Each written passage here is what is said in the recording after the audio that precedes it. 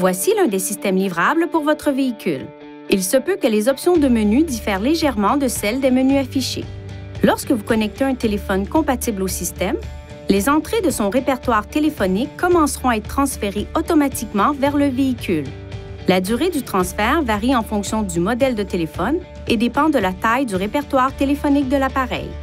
Une fois que l'ensemble du répertoire téléphonique est transféré, la touche Répertoire main libre de l'écran du menu principal du téléphone sera activée. Touchez là pour voir les entrées dans le répertoire main libre, puis touchez une entrée pour composer le numéro.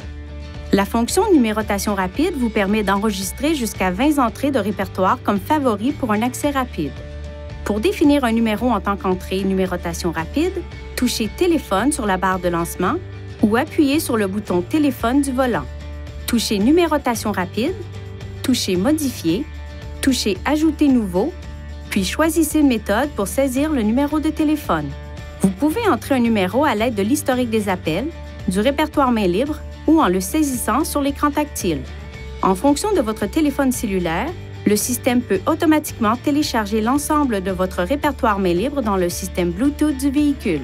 Si le répertoire main libre ne se télécharge pas automatiquement, il peut être téléchargé manuellement. Tout d'abord, appuyez sur le bouton Menu.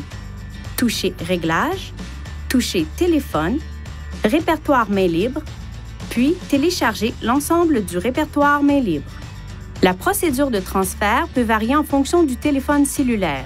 Pour tous les détails, consultez le manuel d'utilisation de votre téléphone cellulaire fourni par le fabricant.